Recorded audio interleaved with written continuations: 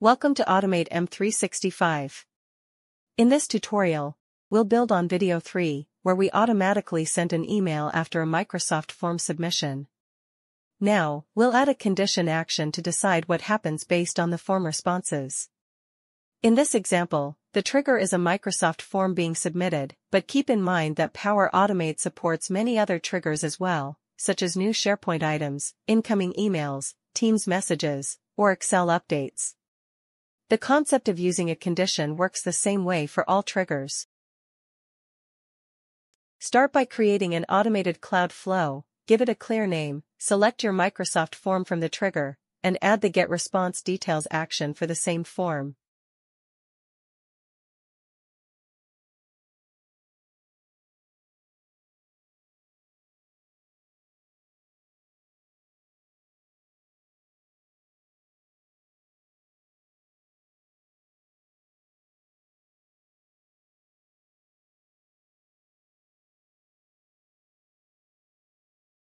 With that ready, we add a condition action.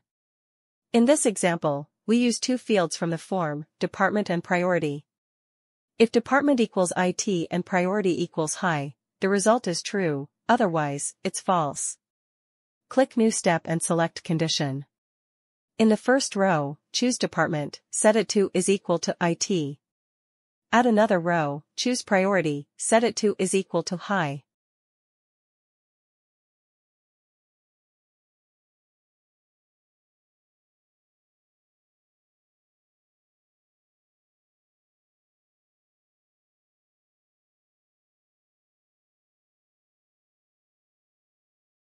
At the top, select and so that both must be true. If or is selected, only one needs to match.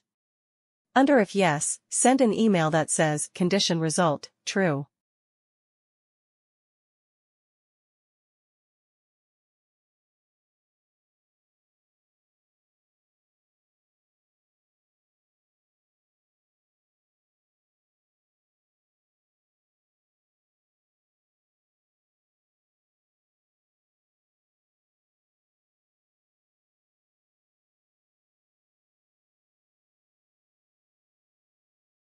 Under if no, send an email that says condition result, false.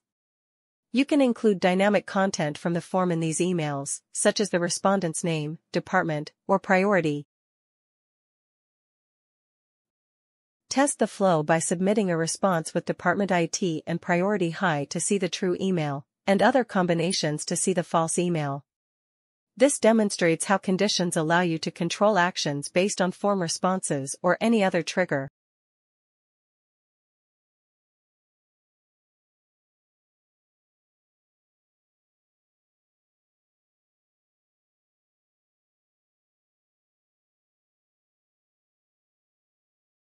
In this example, we select both true options, department equals IT and priority equals high. Because both match, the condition evaluates to true, as you can see in the tested flow chart and the incoming email.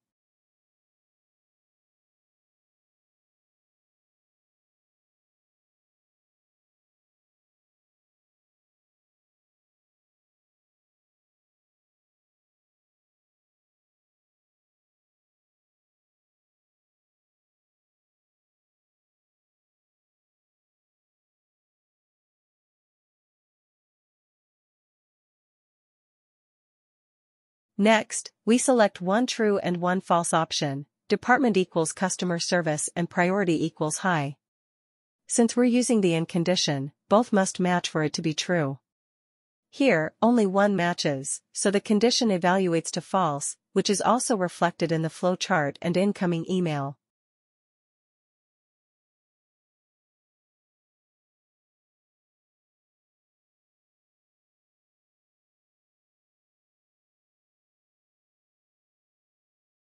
In the next video, we'll extend this flow by adding an approval action at the end.